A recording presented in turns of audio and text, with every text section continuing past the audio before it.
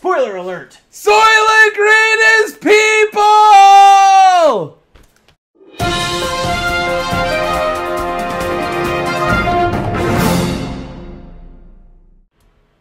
Hello, the internet!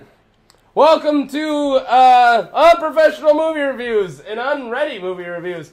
We're doing the complete craptastic craptastical that is Jupiter Ascending. We're gonna. Now, if you saw the trailer for this movie, you know It's it craptastic, craptastical. The trailer looks terrible. Um, I'm gonna make this go really fast. We're trying to do faster videos now. Um, please like, subscribe, Comment. comment, share, do all that good shit. We appreciate it. We will love you to do that. Uh, and uh, the way this works, we go with our positives, and then we do our negatives, and then we do a tailored review. Boom! I did that under a minute, bitch. All right. Ugh. Positives. You go first. Positives. Um. All right. This is uh, with how bad the plot is and all the negatives we're gonna get into. Um, I do have to admit, it's a very well done, pretty movie.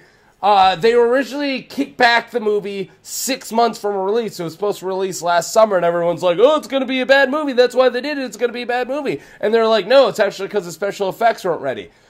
Now I believe both of those things. It's it is a bad movie, but man, th- those I'm glad they spent time on special effects and at least kept me something to watch. It was I think they're really well done.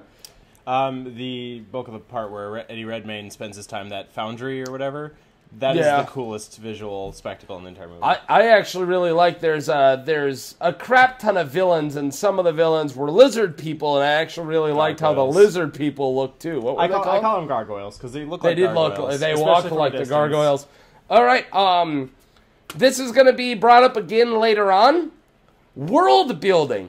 I said to him midway through the movie that I really like it when a movie or a book or anything branches and tries to make their own universe. Star Wars. It's why Star Wars is better than a lot of things, is because they made this entire world that we get to learn about. We get to learn about all these hierarchies and all these different planets in this big expanded universe.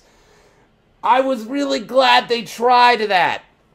I'm going to leave it at that and I'm going to bring it up again to my negatives. Okay. You. Um, my positives. Uh, Channing Tatum was a positive for me in this movie. Now, I'm not saying Channing Tatum was good in this movie. He really wasn't. But he seemed to be the only actor in the entire movie that actually realized the magnitude of what he was trying to do. Uh, he was the only one who put any heart into his performance. Mila Kunis totally phoned it in. Eddie Redmayne, like, Save it for the negatives. eh. um, but anyway, the point is, Ch- Channing Tatum, good try. Um, the visual spectacles also, I would agree, are, are good. Um, I also like it when a movie tries to build a universe. I also like it when, when movies and video games and, and cartoon series build uh, battle formats, battle systems. Yeah. Um, and they, they chose an interesting idea. Um, again, it was a it was a valiant try, um, but I just appreciate that they tried to create a, a new battle system with the boots.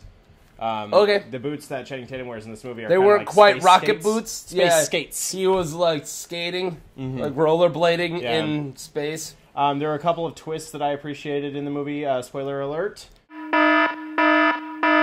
There is a part where um, the bad guys betray each other to help what you're meant to identify as the good side at one point, which is interesting.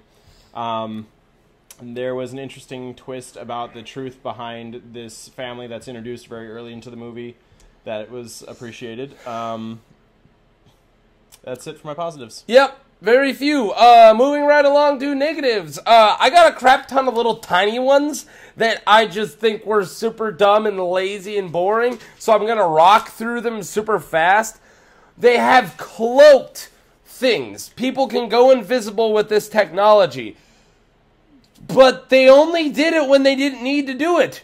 They like were sitting in this cloak speeder bike, and then this person's having a big talk in front of everybody, and then she's like, "All right, cloak." And then as soon as she comes up on people, she uncloaks. what the hell? Why and then bother? all these ships can they uncloak and have a giant battle, uncloaked in front of all these people, just blowing shit up. I'm like, you have cloaking device. What the hell?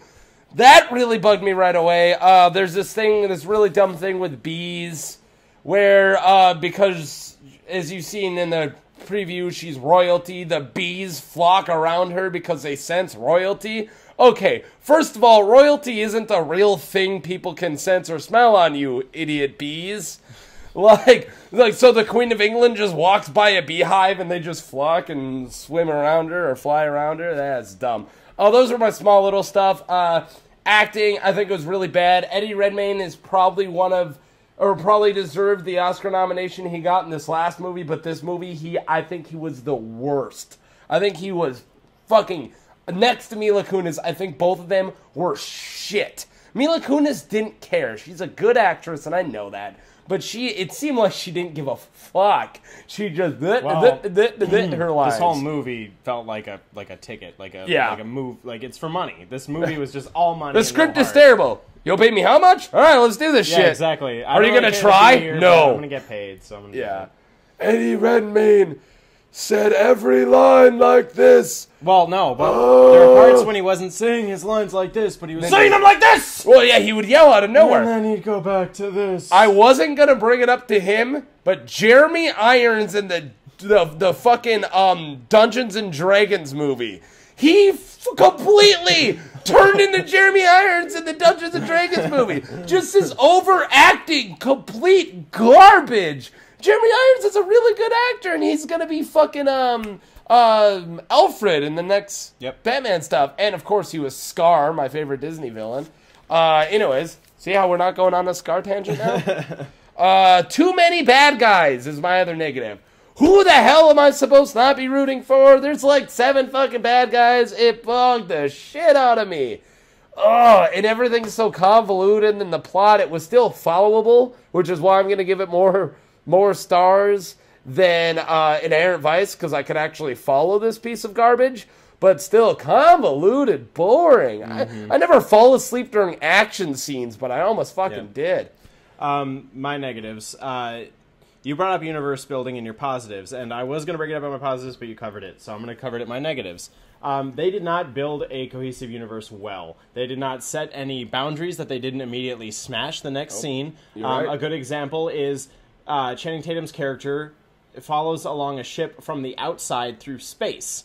And then later on, he gets sucked out into the vacuum of space and can't survive. So he finds a suit that also happened to be in the airlock that they use for executions. Yeah, oh yeah, that that. Um, thanks for bringing Yeah. that up. No, they just they they smash. He finds a spacesuit They in the airlock this universe for- and then immediately meet, show us that their conventions don't mean anything. Um, another big negative about this movie is um, in the score. The score is awful. Oh, terrible! There are no bum recognizable themes. It's generic as shit. They bum bum. it sounded oh like something God. that they just pulled off GarageBand royalty Oh, free. it's terrible. Um, so terrible score. I almost worst, brought that one up. of the worst scores I've ever heard of. Um, every single character in this movie is based on an archetype. Uh-huh. Uh, there's a princess. There's a legendary soldier. There's a uh, badass general that the soldier um, once followed. the rich people that can't be trusted, the Or touched. aristocratic.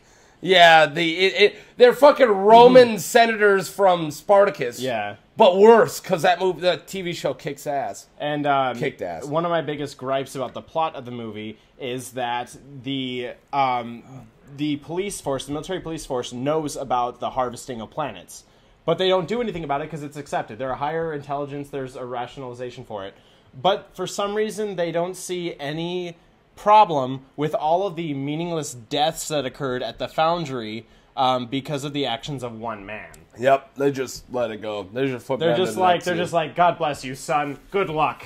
When Yeah. he goes in to destroy shit, and he ends up breaking down the atmosphere of the planet, and it starts destroying the factory, and tons of people die that had nothing to do with it. It's that whole thing about the uh, the contractor on the Death Star. yeah. Only this wasn't even that. Because it was the contractors. They were slaves. yeah, and that was a that was a military fucking. Yeah, this isn't a military And no, place, it this was this is a civilian foundry. This is a place where normal Joes go to work, and there's no controversy about it at all.